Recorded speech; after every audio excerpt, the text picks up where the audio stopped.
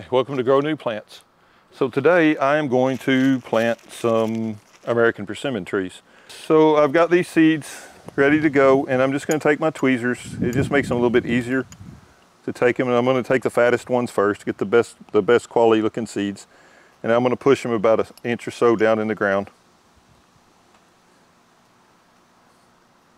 Get all of these planted up and then I will take these once I get them all planted, I will take them, put them in my grow table, and uh, hopefully within a couple weeks I'll start seeing some germination on these.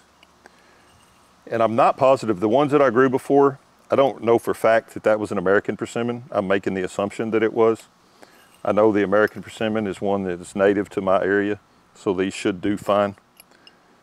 But I don't know for fact that it's the same persimmon tree, but we're gonna find out, I guess. We'll see when they grow up if they look the same. But I know it's native to this area, so it should be fine. Got five more to plant here. So I'm going to take these and we'll put them on my grow table, get them watered in good. And then when I start seeing plants, then we'll do a little bit of an update. And I'm going to hold this video, hopefully, until I've got plants to show you. So anyway, that's it for that. We'll just go put them on the table and see if they grow. Hey, welcome back. So it's been two months on the uh, American persimmons and they've done really good. I got nine out of 18 of them came up. Uh, they're good and healthy looking. I probably could have done them a little bit earlier, but they're not filling out the, the roots have not filled out the pots really well. So, but I feel confident enough that I'm gonna get enough roots out of them uh, that I can get them planted up into one gallon Rootmakers and let them get a little bit more roots established. I have a nice crow trying to help me with my video this morning.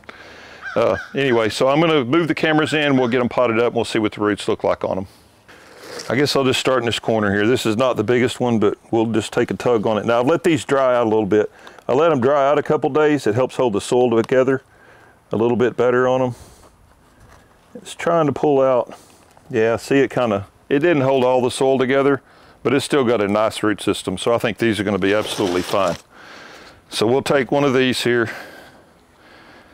and we'll put it in there, trying to get it centered up as much as we can in the middle of the pot.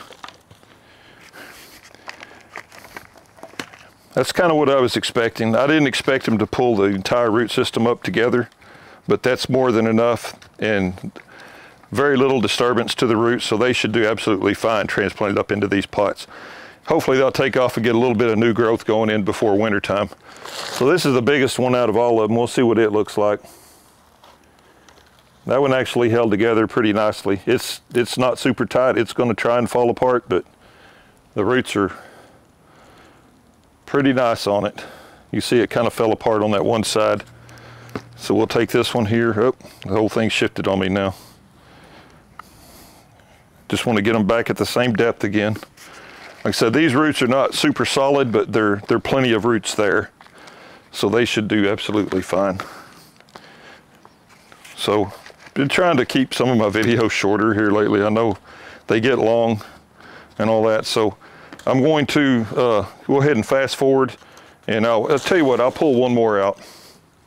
We'll pull one more out and plant it up and then I'll fast forward through the rest of them and then we'll take a look at all of them when we get done. So same thing. The roots are good on it. They're just not holding the soil together good yet. But I feel confident and I'll just hold them up, get them, get the soil around there where the roots are not all bunched together. And then they got new soil and they should just take off new soil, fresh fertilizer. So they should take off and start growing really good now. Okay, so I'll go ahead and I'll fast forward through the rest of these and then we'll come back and take a look at all of them.